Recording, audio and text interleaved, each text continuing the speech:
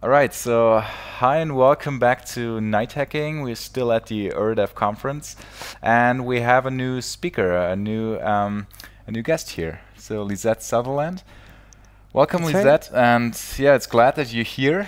And could you briefly introduce yourself? Well, what are you doing? What topics you you covering? So I do all remote work all the time. So that's, That's the great. topics that I cover. Yeah, and uh, so I run a company called Collaboration Superpowers, and we help other companies work better together remotely. And uh, that's about 70% of the work that I do. And then 30% I'm the remote office manager for Jurgen Appelo's Management 3.0 Happy Melly team.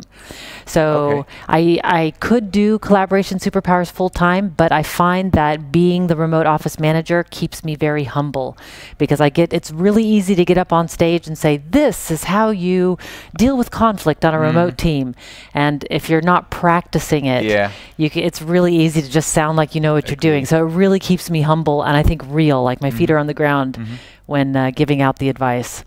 So, So what yeah. does a remote office manager do? Because it's it sounds like you know like a, pa- a, par- a paradox or Yeah, indeed. You know, the, the an office manager in an office would make sure that the coffee's ordered, Right. that you know, like the files are kept uh, in order, and just make sure that nothing really people are welcomed. And so that's what I also do on the remote team is I I onboard new team members. I make sure that the everybody has the meeting information, that the calendar is updated, the Google Drive that we use doesn't Right. get totally out of control. Files are kept in the right place.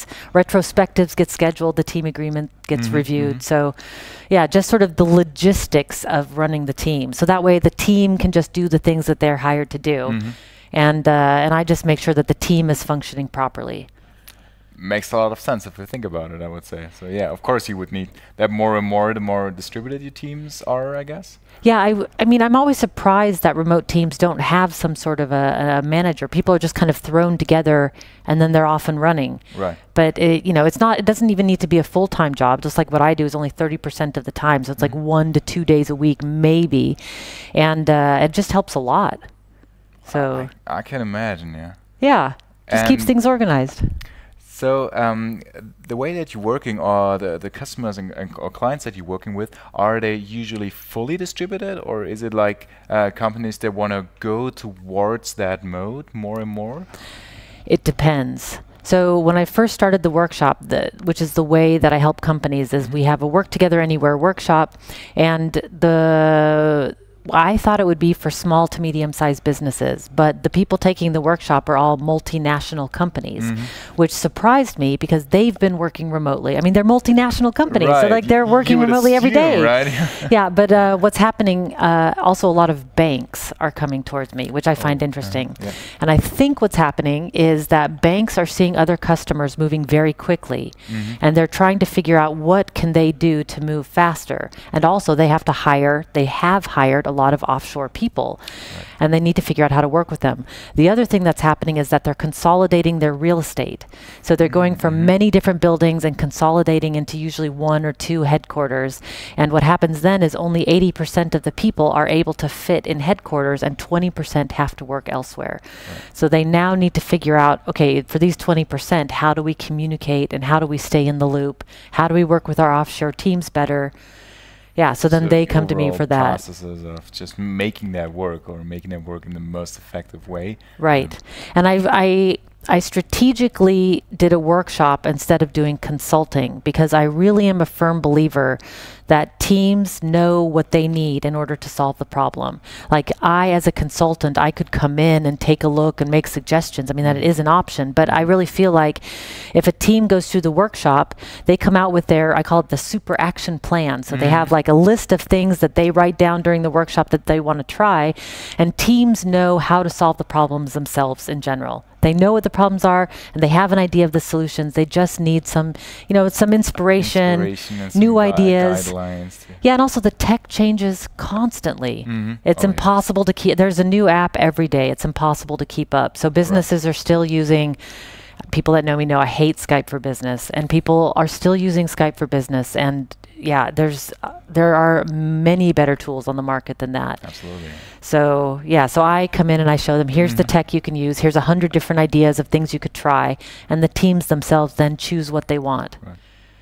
But Yeah. not forcing something up upon uh, upon the teams. It's more like giving them inspiration and make them coming up with their own plans. Exactly. You come What- up with your own plans. for them, for their teams and projects. You know what I learned? So I've been running a podcast myself since 2014 every week and interviewing remote teams for it. And what I've learned is that there is no one right way. And what works for one Mm-hmm. yeah, I team will not agree. work for the other team. And I just recently interviewed a team at Red Hat and or a manager at Red Hat, and he was saying all the teams have accesses to the sor- the same resources. Um, you know, they're set up, they've got all the freedom to do the things, and some teams thrive and some teams don't. And they've got the same stuff. So Mm-hmm. It's something else going on there. So yeah, what I always say is it's there's no one right way and Mm-hmm. every team and every person needs to decide for themselves what's going to work for them. And in a way it's harder because you don't have a top-down manager telling you what to do. Right. And in a way it's easier because it's not like it's rocket science to make remote working work. You just have to know yeah, you just have to try a few things and try a few new apps and try a few new t- techniques and turn the videos on. That's also a right. big one. Yeah, that, that, yeah, that's true. I, I fully agree. So, um, speaking of that, what what do you think is the biggest challenge, or what uh, uh, folks are typically struggling with when when doing a remote work? Is it the uh, collaboration and communication, or is it the working alone in your home office or in some place just on your own without other people? Um, supposedly around you. Yeah, you know, okay, for teams, it's always communication. Mm-hmm. Because they're all using Skype for business, which hopefully by the time people say me, no, no, but really, teams, it's always communication because the videos aren't on, the technology mm-hmm. is bad, the internet mm-hmm. connections are bad, we don't have the proper equipment, Right. and it's just a pain to to connect with each other online. So that's usually the number one problem.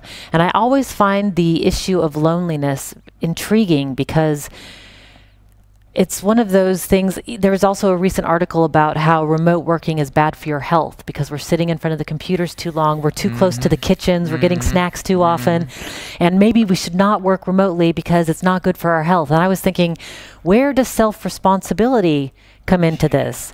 Like, if you're at home and you're really lonely, there are options. There are co working spaces, hotel lobbies, virtual yeah. co working spaces, right? Cafes. I mean, tons of places that you can go to be around and with people. Right. Tons. I mean, there is a co working space in almost every city in the world. Yeah. So, Yeah, literally. yeah, so if you're lonely, then get out of the house because Right. they're not going to come to your living room. Or, uh, you know, one of the very easy things that people can do is turn on the videos and just have online work sessions with Mm-hmm. your colleagues.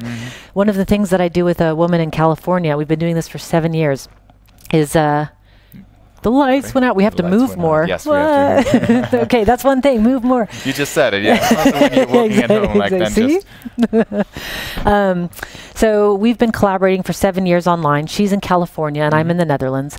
And what we do is we turn the videos on for the first five minutes just to say hello, check in with each other, and then we turn the videos off and keep the sound on, and then continue working together. And sometimes I'm like, "Hey, like Gretchen, continuously for a longer period of time. Just three or four hours, Okay. just like a a work session Uh-huh. together. And then if I have issues like, hey, Gretchen, I'm struggling with this blog post. Can you help me think of like a great title? Or I have no idea what the SEO words would be for this. Mm-hmm. You know, any ideas? And she can do the same. So it's we're working together, and that like it's nice to hear each other in some ways because it Yeah. feels like she's next to me, Yeah, yeah, I fully agree. and I can fully talk to her. So in a way, I always think if you're lonely at home, there are mm-hmm. so many Yeah, options. there- there's so many ways, yeah. Yeah, so it is a problem. Remote workers do complain about this, but I think, you know, if you're going into the office, you don't get to choose mm-hmm. necessarily who your colleagues are. Yeah. But when you're working remotely, you get to you can, yeah. choose. Yeah, Th- so like get your friends together and Absolutely, yeah.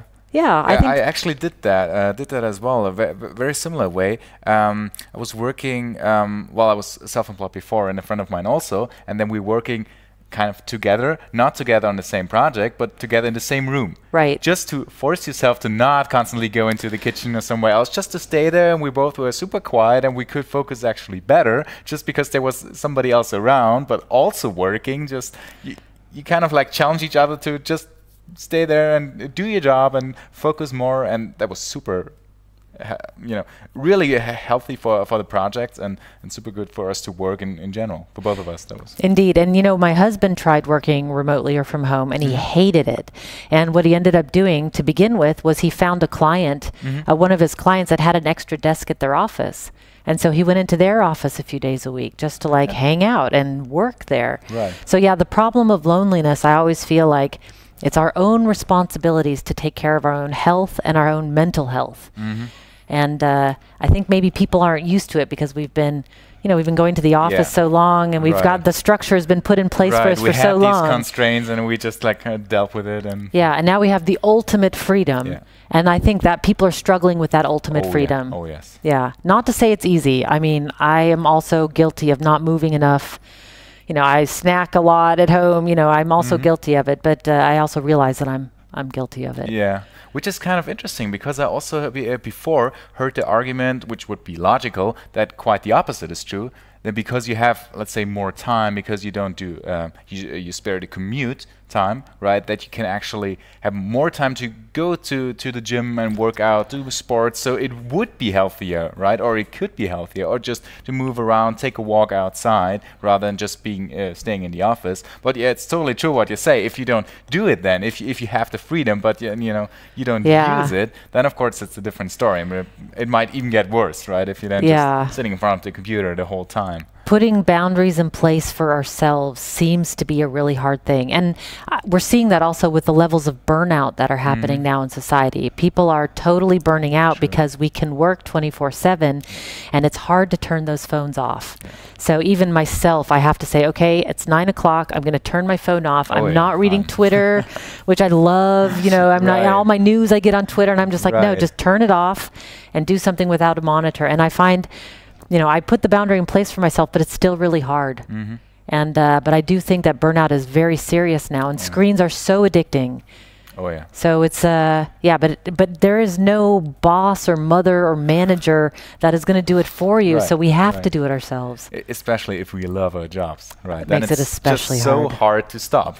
Yeah, and if you're in flow, you don't right. want to stop. Exactly. So that's. I mean, I admit if it's 9 p.m. and I'm in flow, I don't stop. I keep going because flow is such a special state. Yes. yes. Yeah. That's what we thrive after. totally. Yeah, fully. It's hard to agree. get there. yeah, that's yeah, that's something to to deal with. That's for sure. Yeah. So um, here for the Øredev conference. Um, I'm interested, like, what what is your impression of this uh, of this conference uh, in general, and why you well choose this very conference to to share knowledge, to to go up on stage and and share um, your knowledge about the collaboration. Well, uh, I feel really honored because they asked me to come and I hadn't heard of it before, but I've been here, and the topics are I mean, I am for once not the weirdest person in the room or not the most far out because I show in my presentations, I show robots and holograms right. and virtual worlds, and just to show people where the world of work is going. Mm-hmm. And, uh, and at this conference, you know, we have people with chips embedded in their skin and they're biohacking, there's transhumanism, there, I mean, it's, uh, it's awesome. Yeah. It's awesome. It's good to have the, I mean, these are the things that are happening now, and it's good to have these conversations and just see what is, what is the world doing right now. Mm-hmm. So yeah, I'm, uh, I love, I am loving the conference. It I is not boring. I fully agree, yeah, especially the variety of topics that we see here. And very well organized.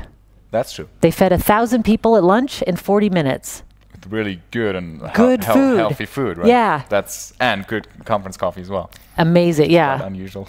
it is very unusual indeed. No, it's a really recommended. I mean, if you're looking to expand your worldview on what's happening in the biohacking, transhuman, you know, programming mm. world, this is the place to be. Absolutely. I can only second that, and that should be a very good motivation to you folks to well join Øredev conference maybe maybe next year. Yeah, they didn't pay me to say that. well, me neither. So okay, great. so thanks a lot, Lisette. For uh, thanks for taking the time for the interview. My and pleasure. Well, for everybody watching, well, thanks for watching. Bye.